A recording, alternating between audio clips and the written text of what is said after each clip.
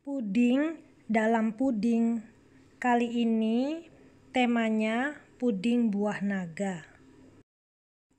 Penasaran kan? Kepingin tahu gimana cara buatnya? Tonton terus video ini sampai selesai ya. Hai guys, kali ini saya mau buat puding. Puding dalam puding. Nah, bingung kan? Maksudnya apa? Maksudnya seperti ini. Ini cetakan puding yang besar dan ini cetakan puding yang kecil. Nah, nanti puding yang dari cetakan kecil ini akan kita masukkan di tengah-tengah puding yang cetakan besar. Jadi nanti dalam satu puding ini ada dua puding di dalamnya. Nah, gitu ya. Sementara itu dulu.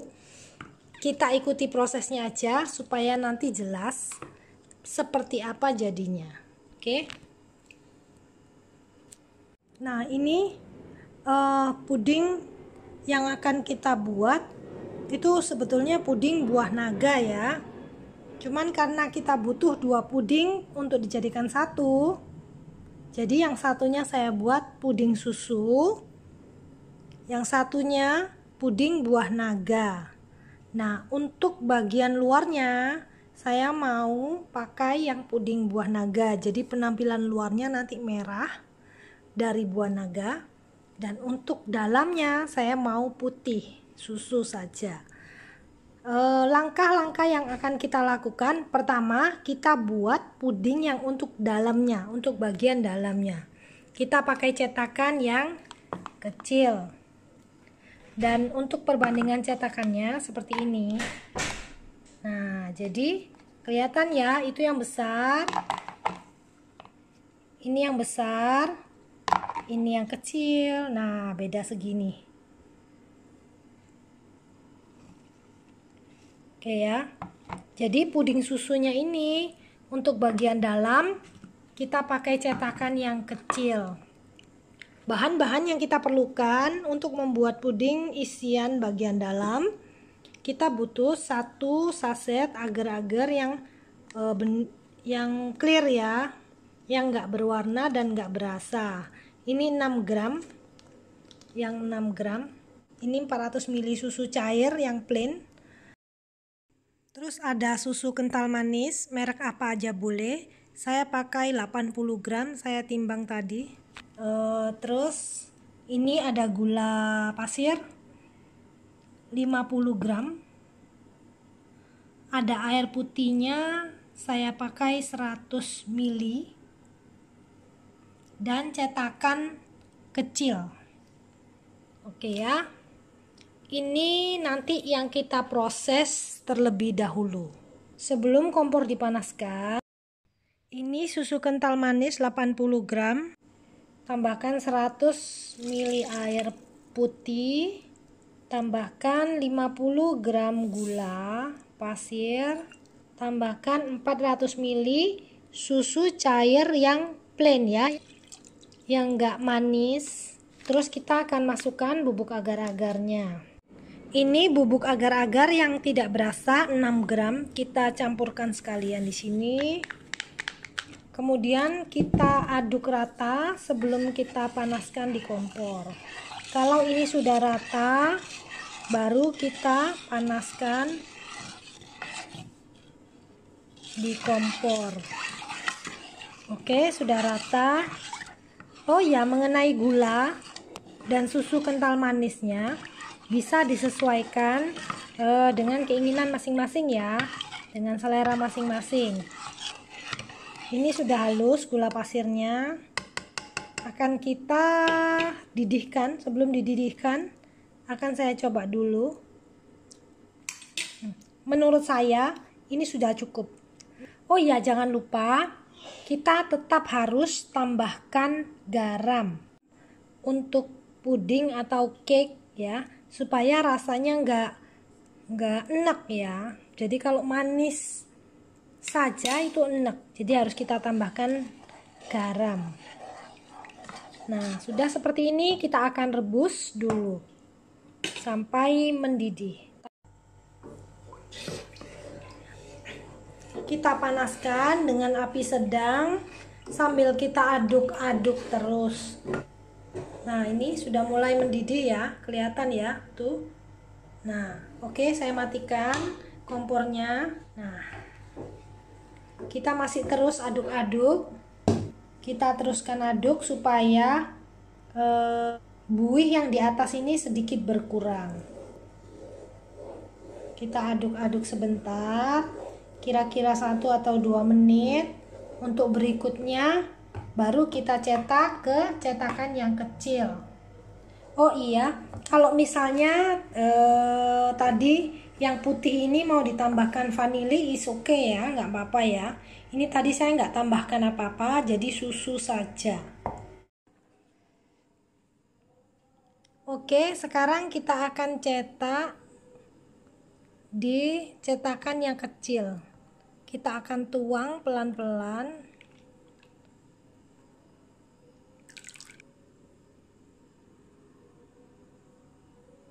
Jadi seperti ini ya.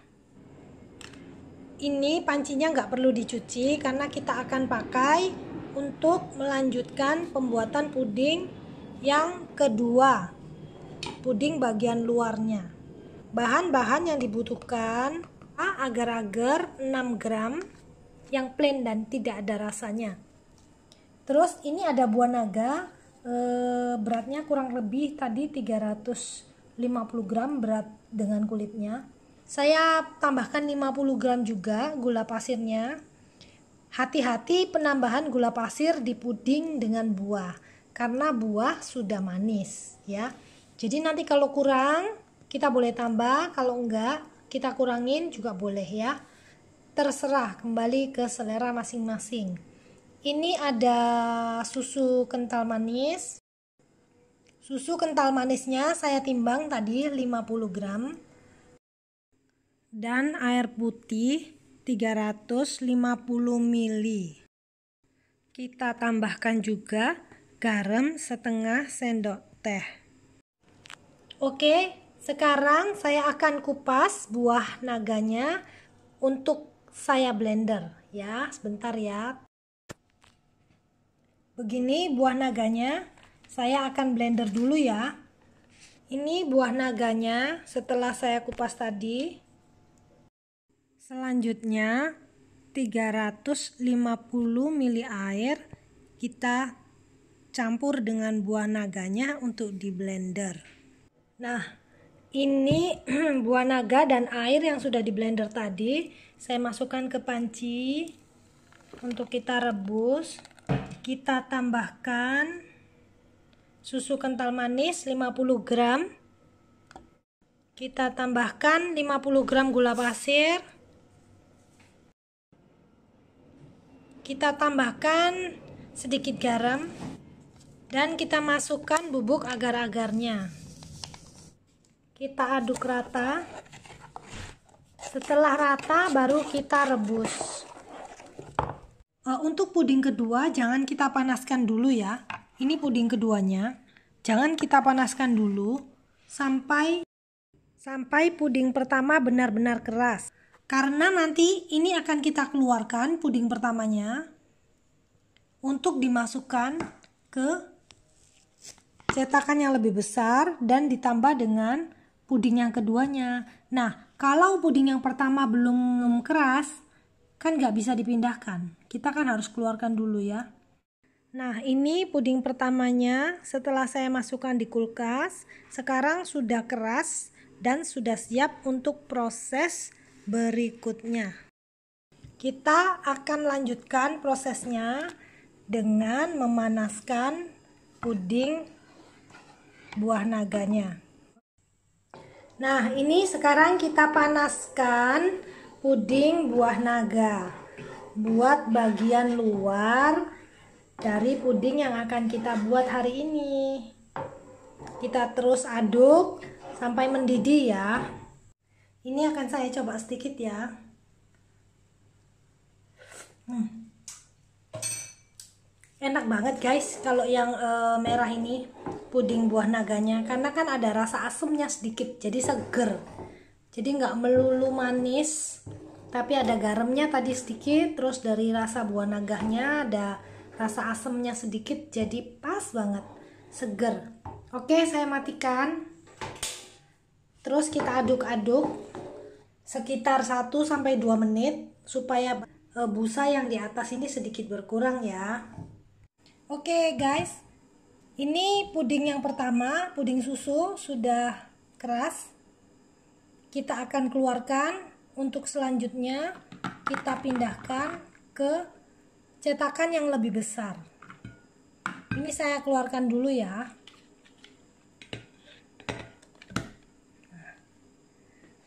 Uh, ini lubangnya terlalu kecil, padahal ini lebih besar. Jadi saya harus potong tengahnya. Nggak usah rapi-rapi nggak apa-apa. Asal aja. Nanti nggak kelihatan kok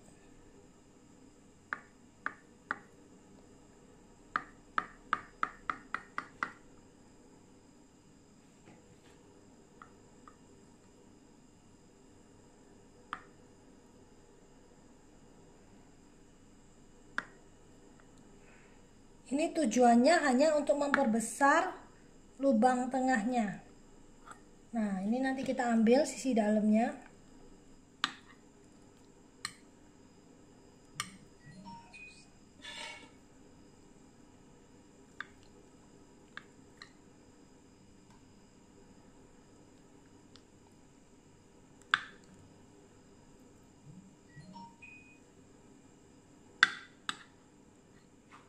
Nah, sekarang lubang tengahnya sudah lebih besar ya.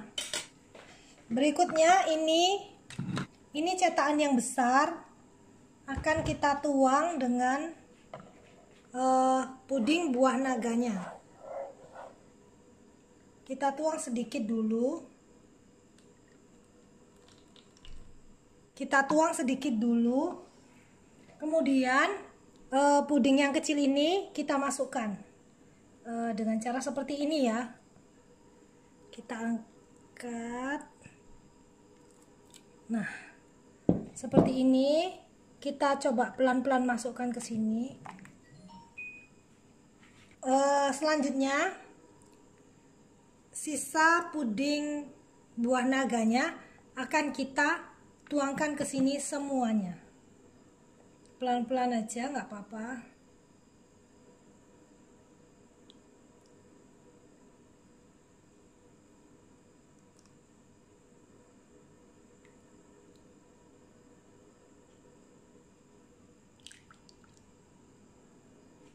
Nah, begini jadinya. Jadi puding yang puding susu yang warna putih tadi itu sudah berada di tengah-tengah puding buah naga ini. Nah, jadi jangan takut kalau misalnya motong puding e, susunya tadi nggak rapi nggak apa-apa, nggak bakal kelihatan itu tadi saya nggak punya plong-plongan buat motong tengahnya ya jadi nggak rapi saya pakai pisau. Andaikan kita punya seperti kaleng gitu ya bisa buat plong di tengah akan lebih rapi. Tapi nggak apa-apa ya kecuali kalau mau dijual lagi itu harus rapi. Ini belum jadi tapi sudah sudah menggoda. Ya ini caranya sangat gampang sangat mudah uh, warnanya juga cantik rasanya enak seger. Hmm, wajib dicobain ya guys. Besok kalau sudah sudah dingin akan saya potong dan saya tunjukkan ya. Sabar menanti ya. Kita tunggu dingin dulu. Nah beginilah hasilnya setelah dingin Sebentar lagi saya akan keluarkan si puding buah naga ini dari cetakan. Tunggu ya, saya keluarkan dulu. Terus nanti saya akan potong supaya kelihatan bagaimana e, hasil perpaduan dua warnanya. Kita akan lihat ada puding di dalam puding. Tunggu ya. Nah, begini penampilan kalau si puding kita balik posisinya. Jadi yang puding-puding putih kemarin kita masukkan di dalam puding ada kelihatan sedikit di atas.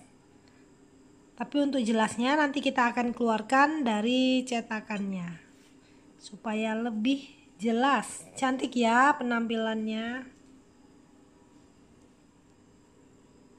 Oke, ini saya keluarkan dulu dari cetakan dengan cara ditekan-tekan seperti ini dipicit-picit dari cetakannya. Ini mestinya kalau mau lebih mudah lepas dari cetakan sebelum cetakannya dipakai kita basahin dulu dengan air. Jadi nanti nggak terlalu lengket. Ini kan sepertinya terlalu lengket ya. Nah sudah berhasil Tara wow wow cantik ya mengkilap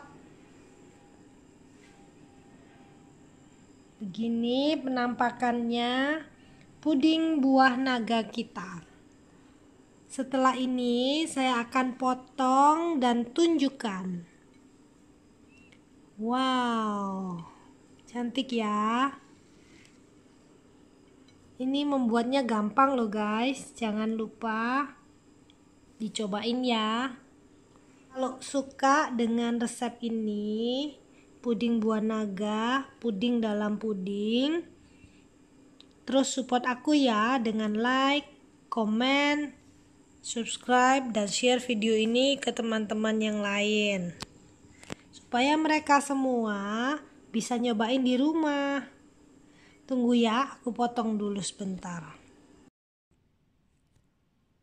Oke, sekarang saya akan potong pudingnya.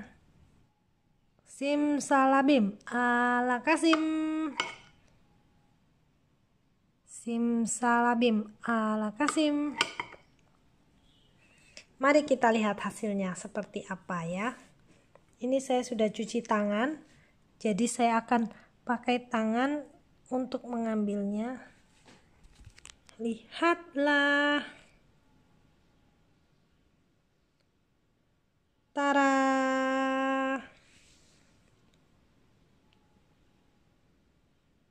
Seperti ini hasilnya. Nah, cantik nggak? Cantik kan?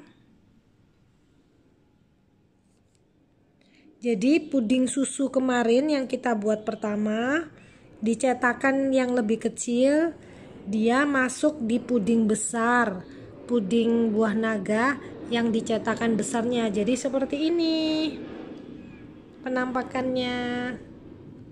Nah cantik ya? Sudah kepingin belum? Ayo dicobain ya guys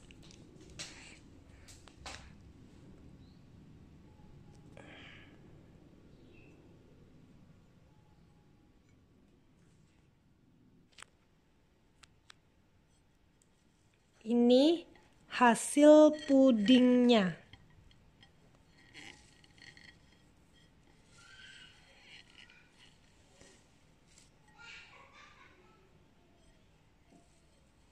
Cantik sekali ya, warnanya juga sangat menarik tanpa pewarna kimia.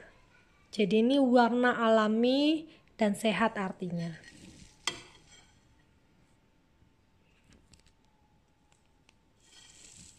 Nggak sulit kan cara membuatnya?